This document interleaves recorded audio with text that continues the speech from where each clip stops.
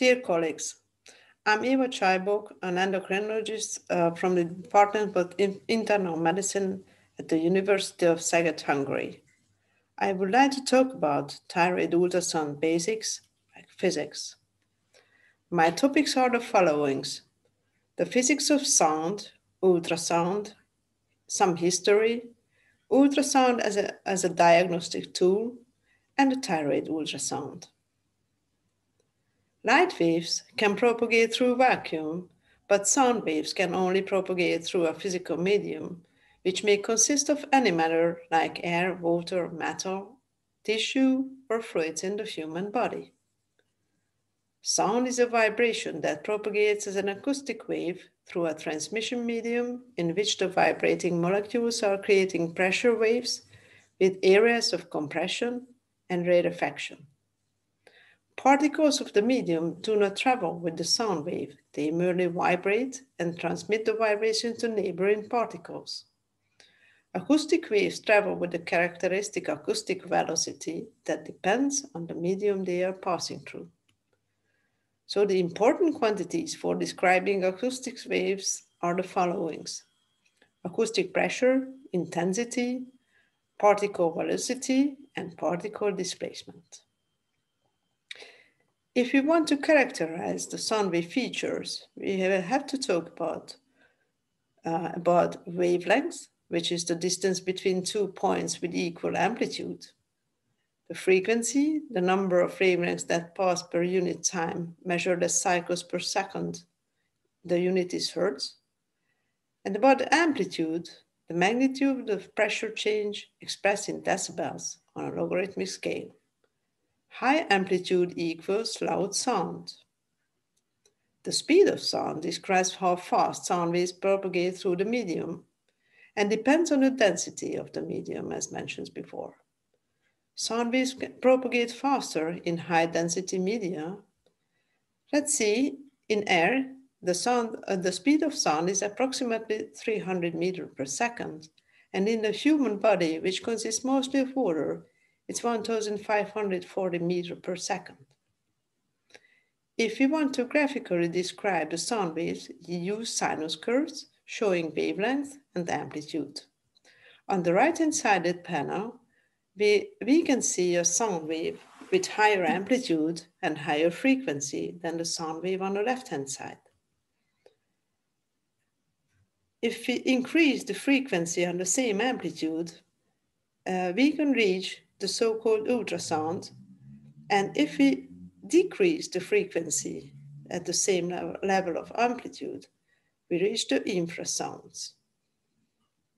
In human physiology, sound is the reception of acoustic waves and their perception by the brain. The audio frequencies are waves that elicit an auditory percept in humans, which are lying between about 20 hertz and 20 kilohertz. Sound waves below 20 hertz are known as infrasound, and sound waves above 20 kilohertz are known as ultrasound. They both are not audible to humans.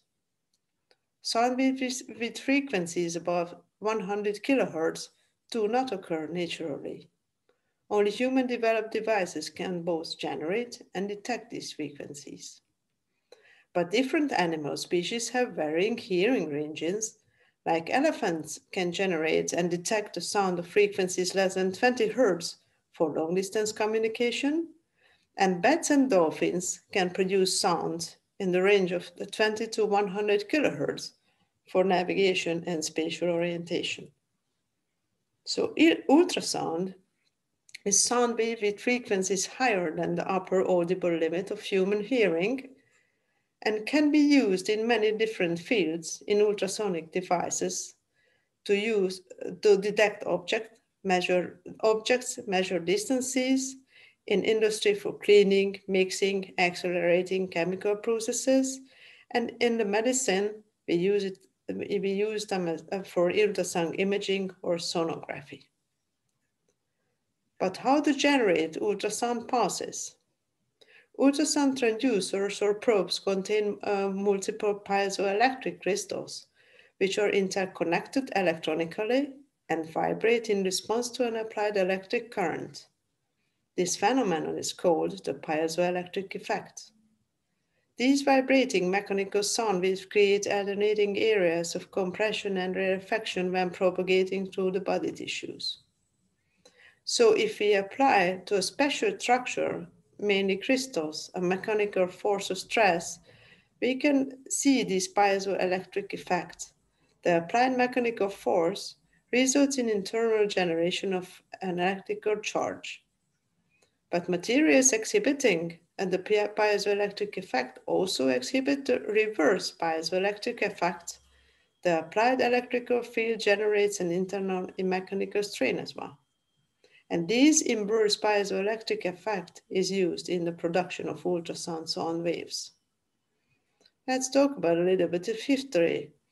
Probably you recognize Marie and Pierre Curie but probably you're not familiar with the brother of uh, Pierre Curie, Jacques Curie, who was a brilliant uh, physicist, um, and they both brothers discovered the piezoelectric effect in certain crystals and the reverse uh, piezoelectric effect as well. One of the students of Pierre Curie was Paul Langevin, who developed piezoelectric materials which could generate and receive mechanical vibrations with high frequency. And they were uh, firstly used as sonars or sound navigation and ranging system for submarine detection in the World War One. Later on, he discovered that high power ultrasound could generate heat in bones as well.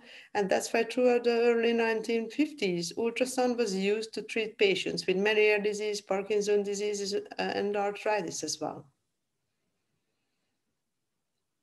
So the first, first physician um, applied ultrasound as a diagnostic, a diagnostic method in human was Karl Dussik, a, a neuropsychiatrist in Vienna, Together with uh, his physicist brother, they developed a true transmission technique ultrasound device as a me uh, medical diagnostic tool to visualize neoplastic tissues in the brain and, uh, um, and to recognize the cerebral ventricles on the pictures.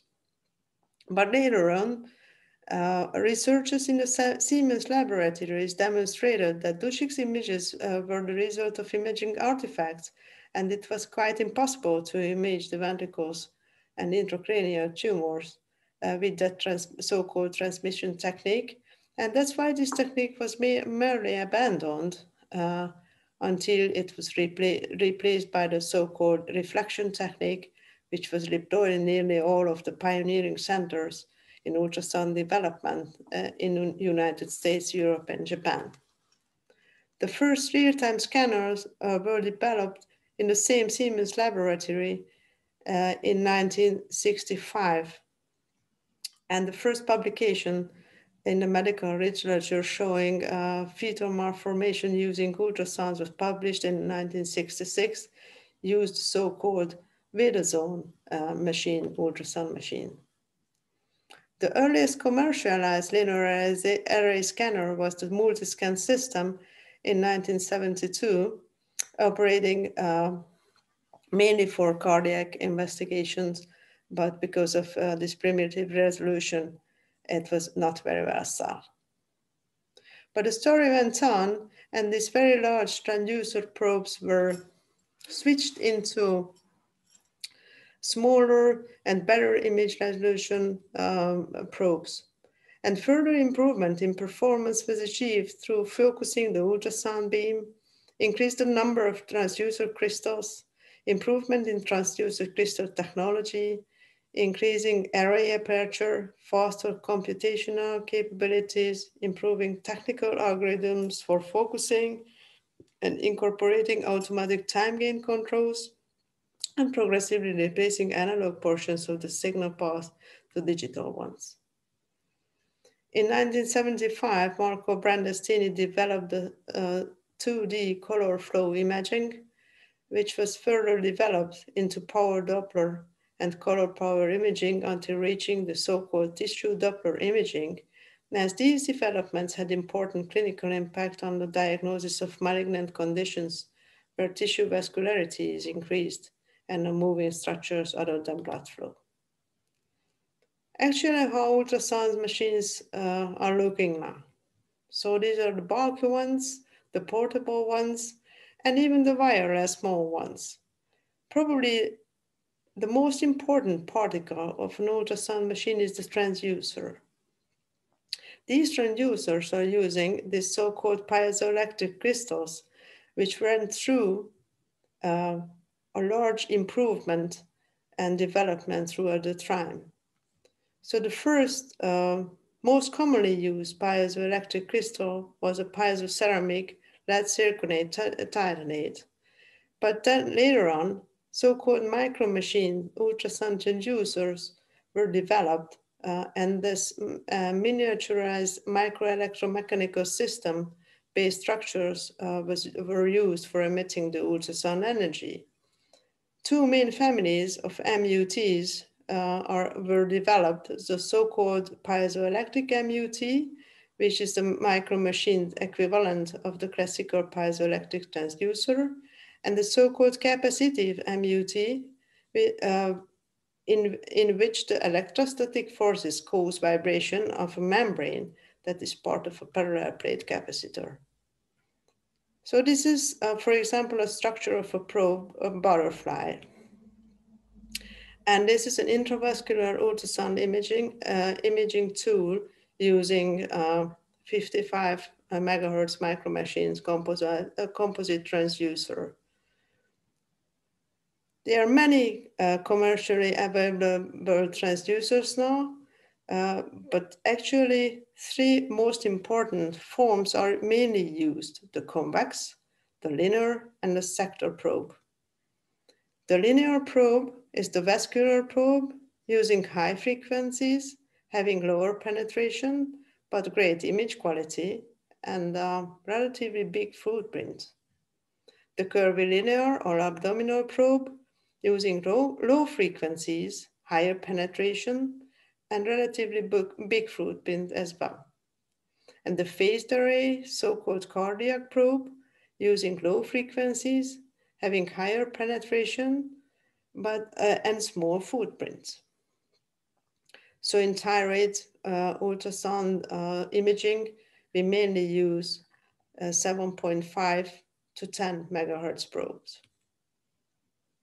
The ultrasound transducer fun um, can function as a speaker and a receiver as well. The specific feature of the crystal used in the transducer uh, will create the sound waves of uh, with frequencies of uh, 2 to uh, 50 megahertz.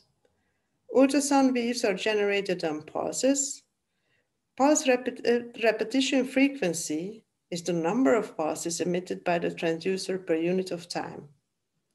Ultrasound waves must be emitted in pulses with, uh, with sufficient time in between to allow the signal to reach a target of interest and be reflected back to the transducer as echo before the next pulse is generated.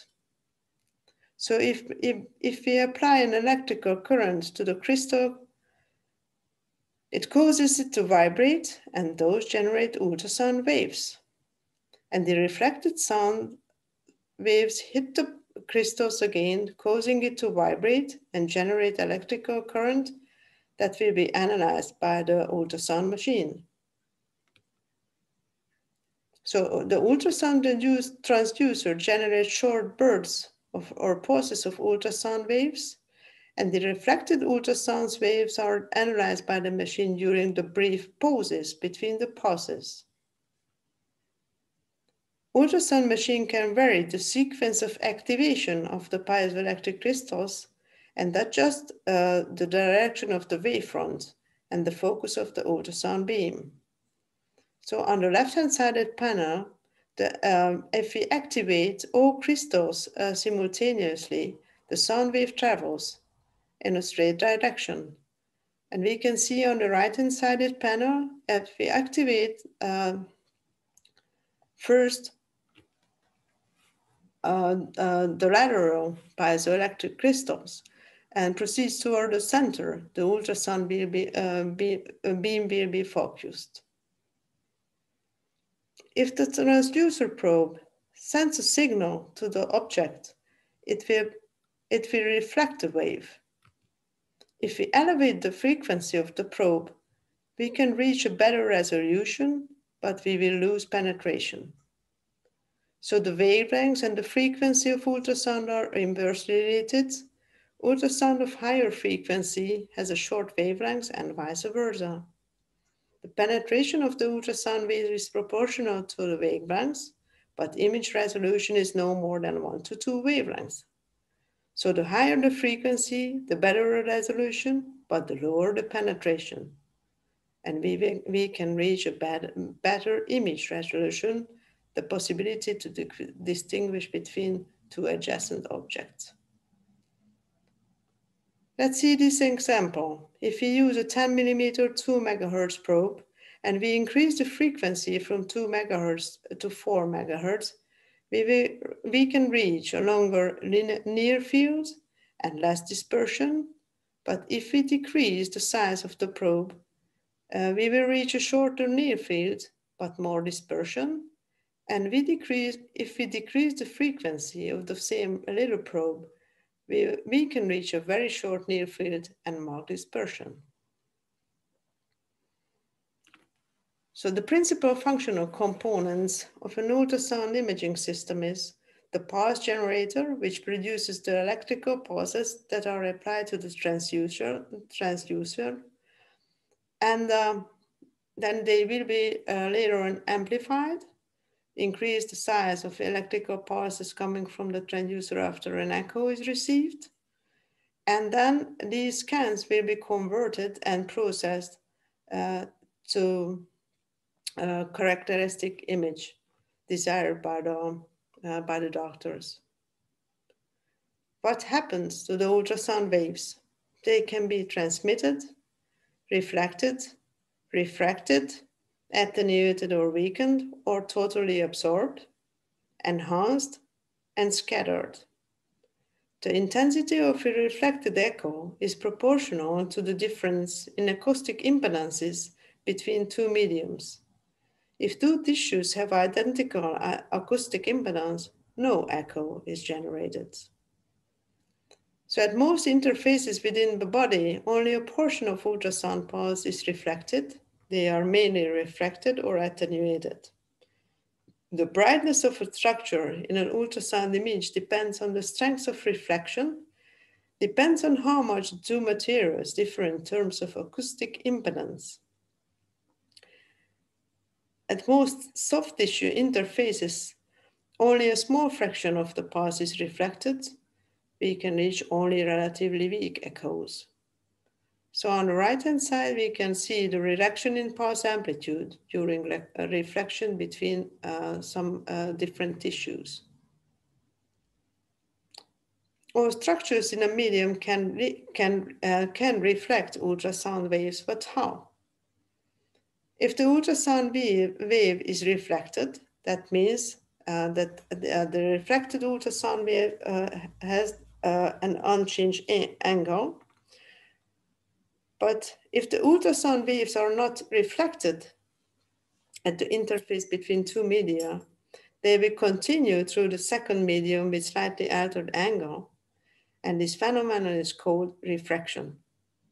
If the ultrasound pulse encounters reflectors whose dimensions are smaller than the ultrasound wavelengths, or when the pulse encounters a rough, irregular tissue interface, they will be scattered. So ultrasound waves are refracted and bent when they travel from one medium to the next. The waves become attenuated as they propagate through the medium. And um,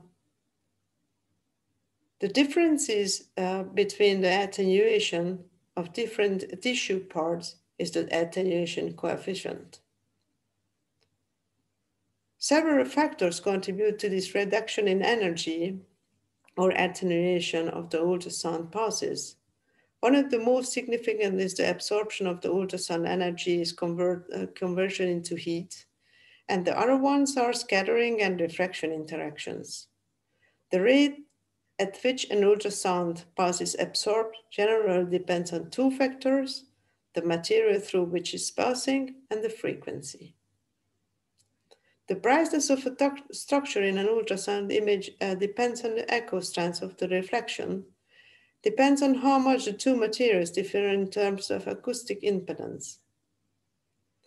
So if we want to obtain a, the best image resolution, the best possibility to distinguish two adjacent objects, uh,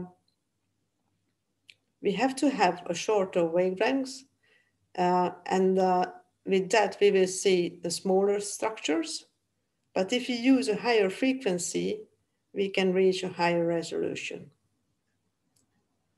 The axial resolution is the ability to distinguish two objects located parallel to the uh, ultrasound wave. And the lateral resolution is the ability to distinguish uh, two objects that are perpendicular to the ultrasound waves.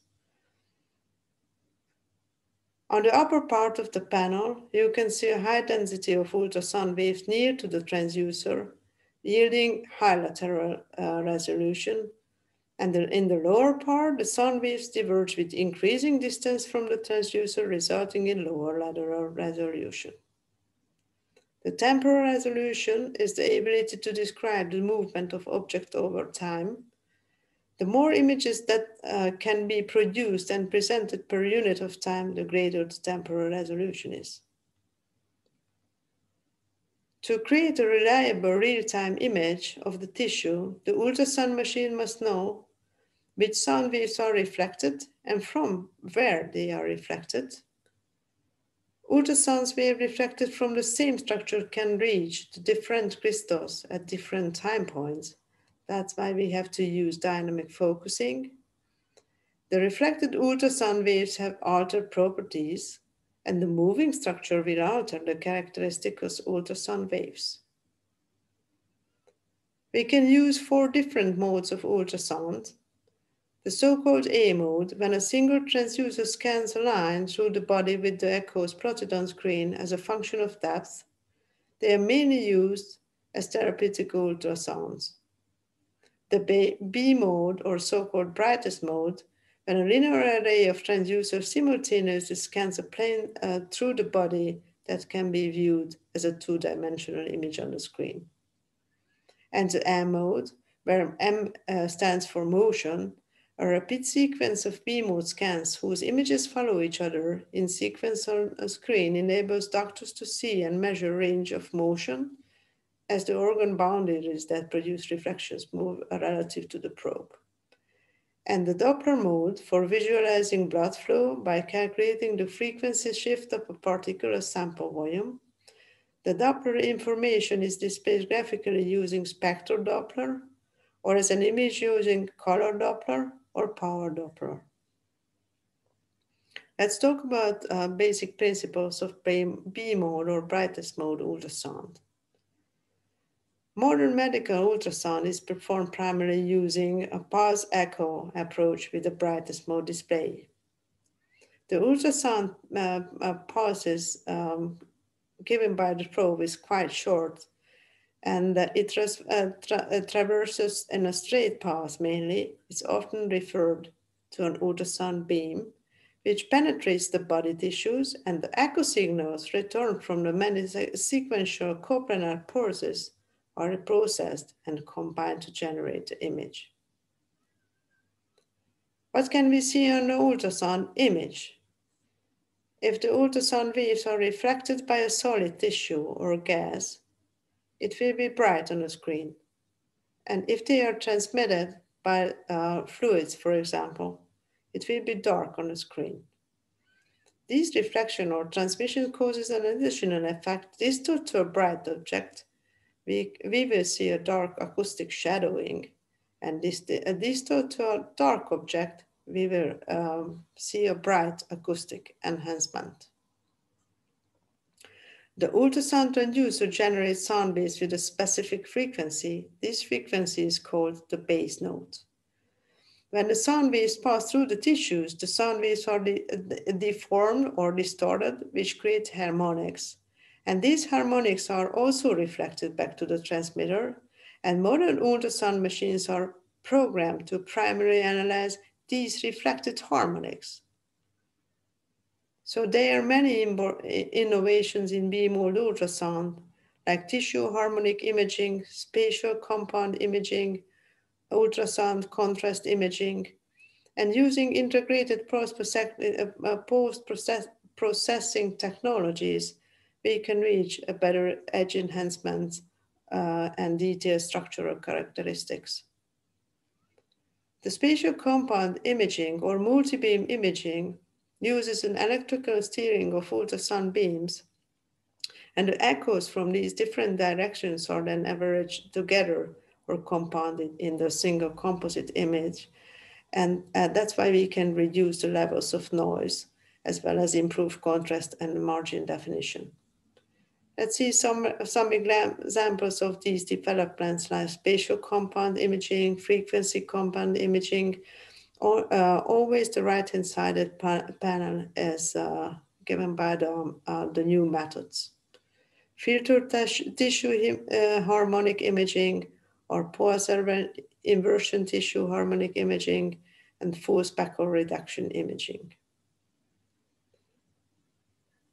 The medical imaging modality that maps the elastic properties and stiffness of the soft tissue is elastography.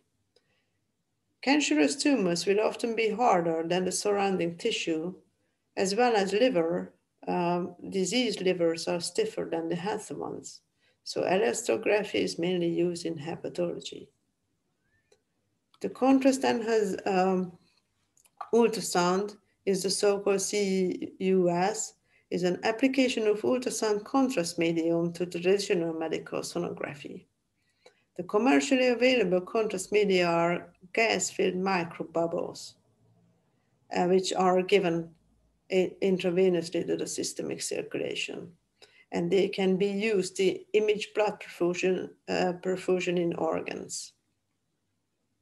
Let's talk about the so-called motion mode or M mode.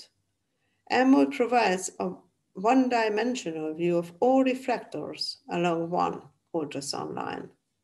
M-mode image displays all structures along one line and is useful for quantifying the mobility of structures and measuring dimensions, and it can be combined with Doppler techniques.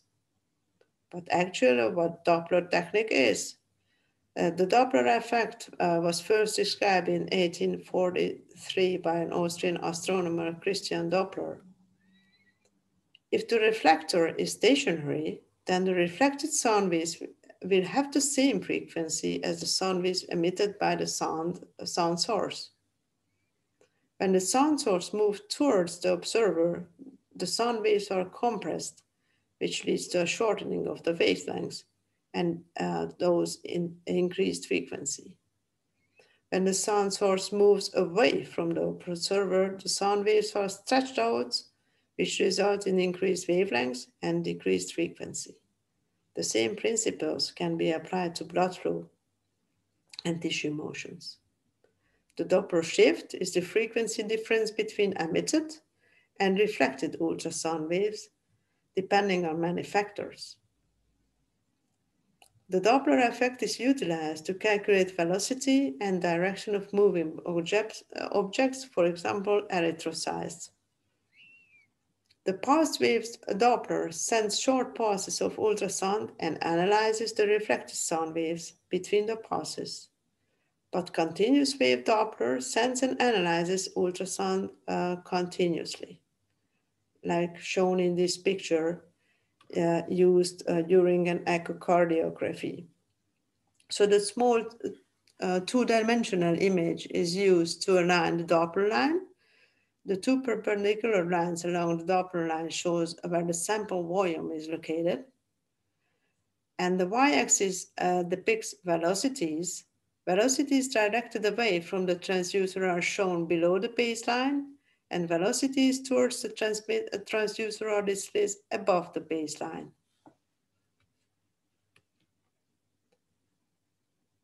So, what if we switch on on ultrasound? We have to optimize the ultrasound image. It's necessary to adjust several parameters continuously during the examination, starting with the overview uh, image, for which we have to reduce the depth uh, as much as possible for better image resolution and reduce the width if possible.